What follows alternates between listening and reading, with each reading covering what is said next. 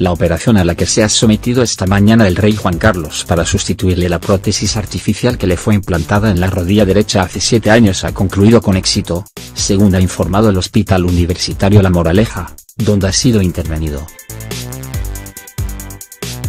La intervención, que ha durado 90 minutos, se ha desarrollado con total normalidad y el resultado ha sido plenamente satisfactorio, se explica en un comunicado facilitado por este centro sanitario privado.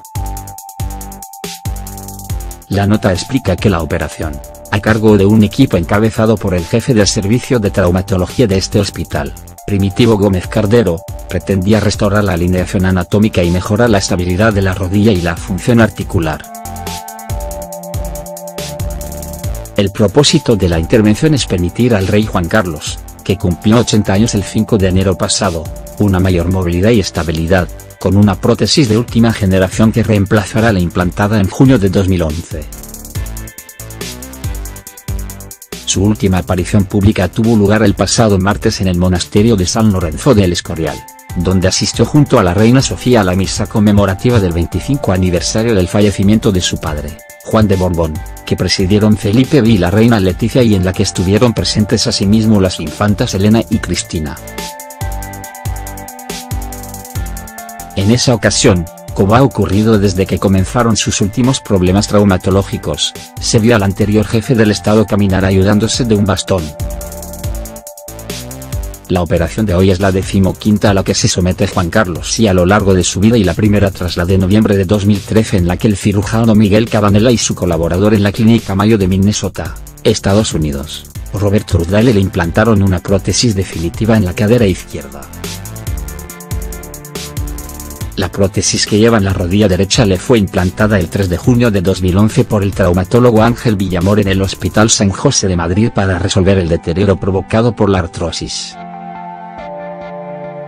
El 4 de septiembre de aquel año se sometió a una cirugía, en el mismo centro sanitario y sin hospitalización posterior, por la rotura del tendón de Aquiles del pie izquierdo, ocurrida poco después de que dejara las muletas que utilizaba para recuperarse de su operación de rodilla.